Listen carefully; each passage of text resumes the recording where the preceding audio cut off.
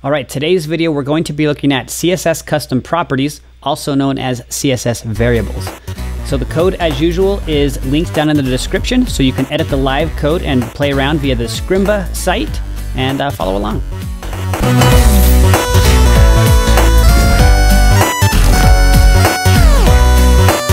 Right, in this CSS tip, we're going to be looking at CSS custom properties. These are also known as CSS variables, and you may or may not have seen these as they've been around and quite popular in the last year or two. Now we're going to look at the very basics of these and just give you a couple of little introduction on how powerful they can be. Now, what I want to show you here is that I've got my basic HTML. You can see I've just got three paragraphs. This paragraph has a, has a class of one. This paragraph has this paragraph has a class of two, and then the last one we're going to be doing an inline style to demonstrate. So three paragraphs. Let's pull up our preview here. And most of our work is going to be as we're doing here in the CSS sheet. So I'll refresh this so we can see those three paragraphs. And let's go ahead and get started. Now, over here on the CSS sheet, we actually have quite a bit we're going to be setting up. Now, we're going to be adding an element here called the root. And this is often you'll see this with CSS custom properties or variables because the root element is where you can declare these and essentially they're then inherited to all other HTML elements.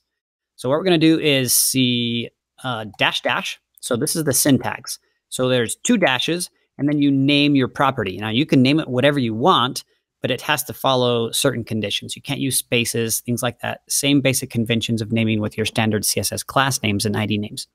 So I'm going to set my first one here to font dash size and I'm going to set that to 16. Uh, notice that I'm not putting a unit of measure here. And so that's on purpose, and I'll show you why here in a second. And then what I'm going to do is I'm going to say dash dash, and then I'm going to set this one to font dash, whoops, dash unit. And then I'm going to set this to one point. Okay. Next, I'm going to set this dash dash font dash dyn for dynamic dash size. And this is the reason why I didn't use a unit of measure here is because now we can actually use the CSS calc function, so C-A-L-C, and I can then use those variables I just barely set up. So in order to use the variables, you use the keyword var for variable, and then two parentheses, and then inside of your parentheses, you simply use the variable name. So dash dash font dash size. Okay, so that's how you would actually use the variable right there. So I'm going to calculate the variable font size times the variable of dash dash font dash unit. Okay, and then I'll go ahead and close that rule off.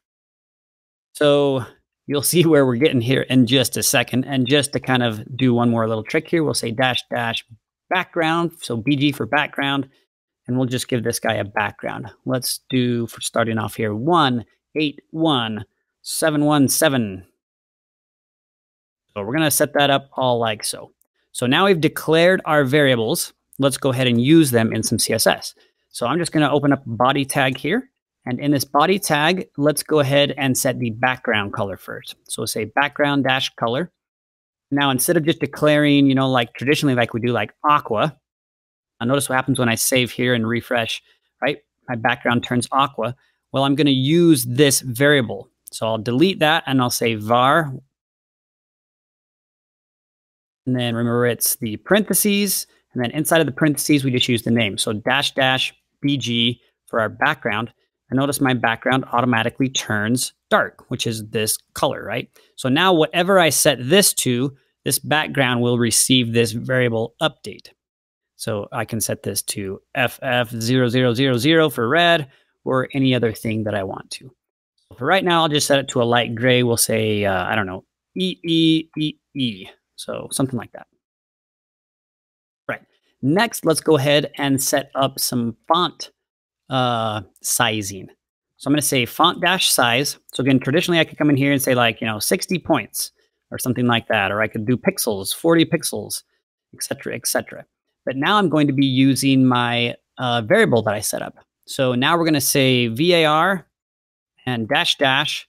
We're going to be using our font dash dynamic dash size for the font size. So we've set that up like so. and we can come over here and refresh. Now, basically what's happening here is it's 16 times one point, right? So basically it's going to be 16 point, which is default. But I can come in here and what if I want to change this to two points? And let's save and refresh. And that didn't do what I expected here. And you probably already caught the issue, but I paused here and you can see I actually spelled this wrong. Font dash unite. So I got to remove that. So it says font dash unit. There we go. So now you can see I can set this back to one and I get my default font size here. And then I can set this to two and notice that it's calculating the 16 times two point. And that's really, really cool how you can combine this with a unitless measure with a unit that does have a measure to do this calc function here. So I'll set this back to two point and I can switch this to some other unit of measure, like I can say two pixels. And now it's 16 times two pixels. So anyway, really cool that you can do this. All right, so I'll set this back to points and I'm gonna set this back to one. So now that we have our body declared and we have this font size that's declared on the body, let's just go ahead and move down and uh, add one more little bit here. So now we're going to add something to this first paragraph. So this first paragraph you'll remember is inside a paragraph that has a class of one.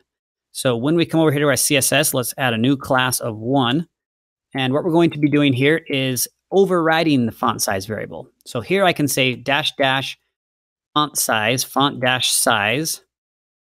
And I'm going to set this to 32. Okay. And then I'm going to override this dynamic size as well. So I've got to copy this down. So I'm going to copy this and paste it back down into here. And then now we'll actually come over here and I'm going to still this line right here as well and redeclare the font size variable. And you can see now this second paragraph is overridden. So in other words, the, what I'm trying to get at here is that you can override uh, the original font size by just redeclaring a value inside of a specific selector and it's scoped to that individual selector. So that now this calculation uh, this this uh, font size is only applicable inside of the one paragraph and not globally.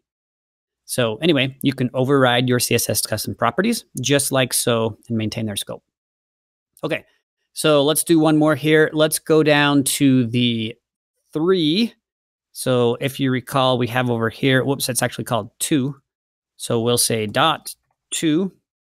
And inside of this one, we're just going to, just to kind of prove the point here, we're going to say font size var, and then we're just going to declare that font dynamic size variable like so. And you can see that this font size on the second one is still at the default, right? It's still using this font size. But inside of the one, it's using a different font size because we redeclared the font size, but it's only inside of that class. Okay, the last little thing I'll show you here is that you can actually use CSS custom properties or variables as they're called, CSS variables, inline as well. So let's jump over here to our HTML. And we're going to add this one directly to our third paragraph as an inline rule.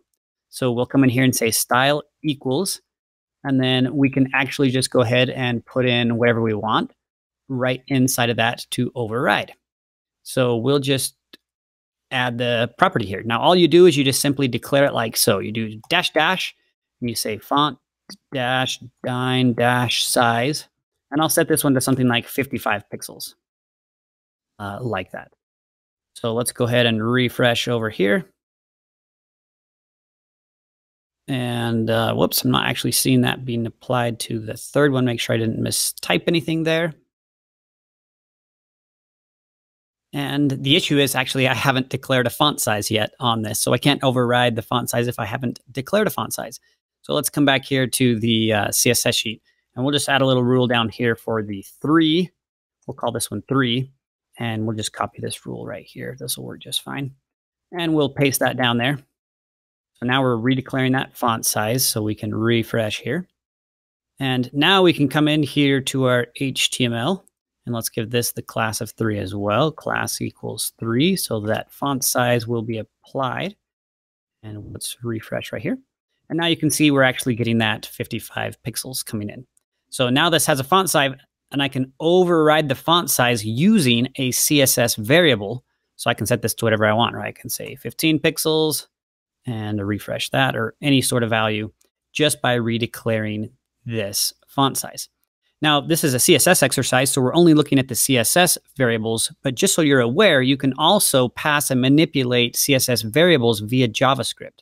So you can kind of see how I can really truly make this dynamic and modify properties of my website's visuals through JavaScript just by passing and using CSS variables and their varying attributes and values.